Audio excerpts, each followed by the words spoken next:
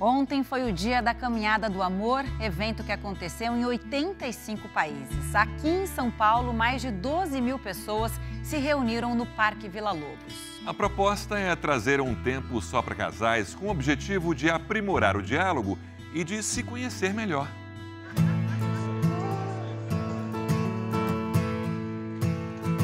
O amor tomou conta do Parque Vila Lobos, na zona oeste de São Paulo.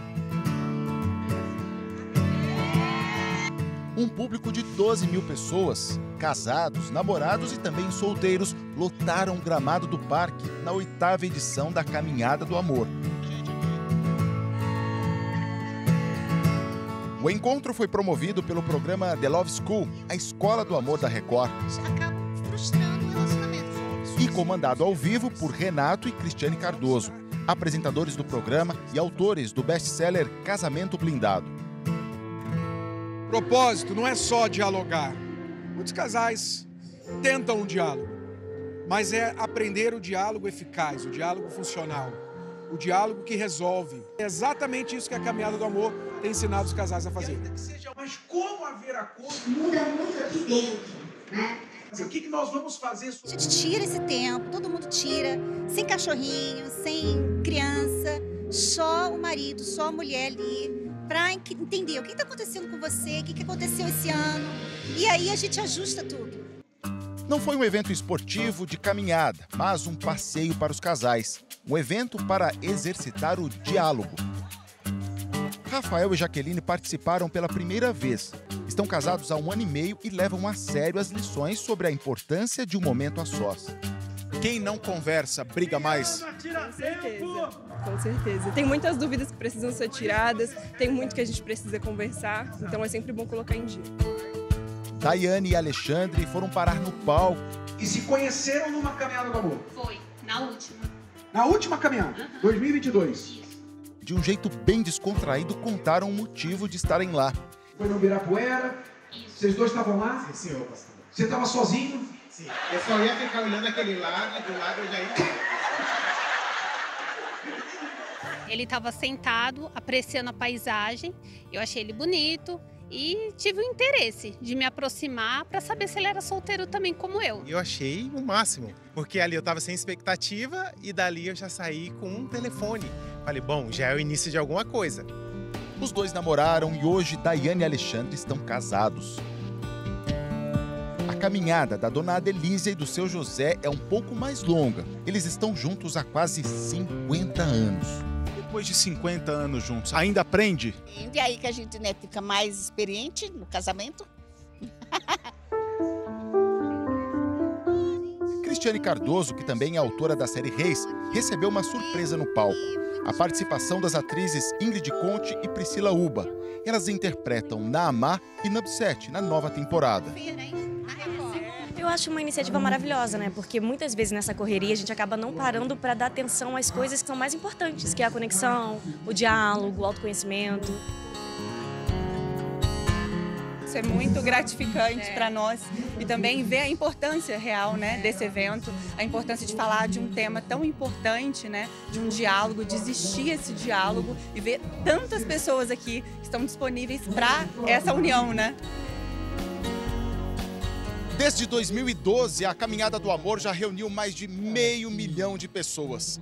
Além de todos os estados do Brasil e Distrito Federal, o evento aconteceu também em mais de 80 países de diferentes continentes.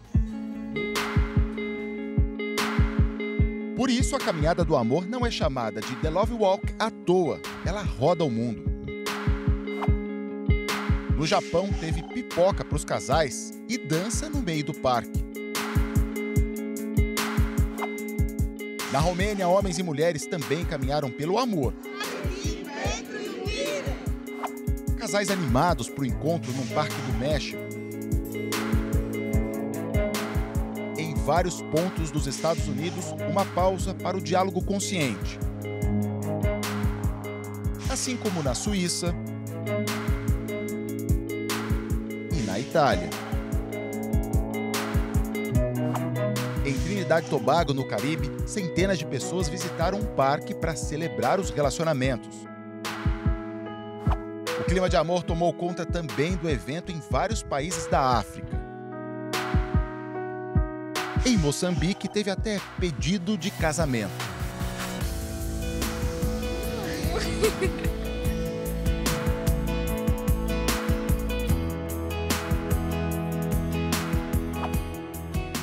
sucesso foi grande no norte do Brasil.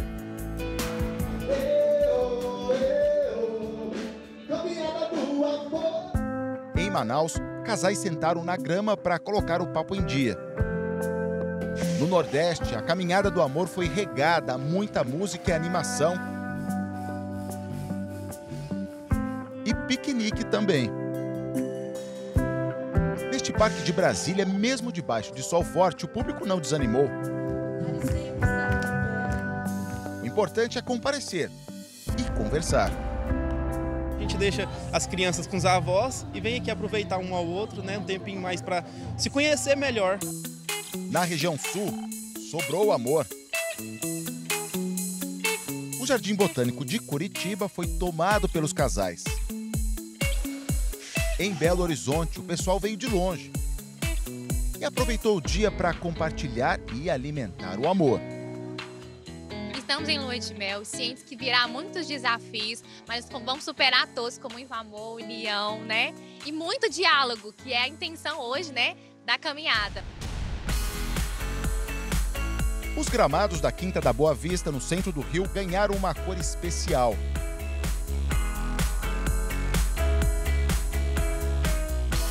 Uma oportunidade rara de olhar para o parceiro ou parceira e melhorar o diálogo. Afinal, quem ama tira tempo para o amor. Se você marca um horário com seu patrão, um horário com a sua equipe, para dedicar só a eles, por que não fazer isso com a pessoa que você ama?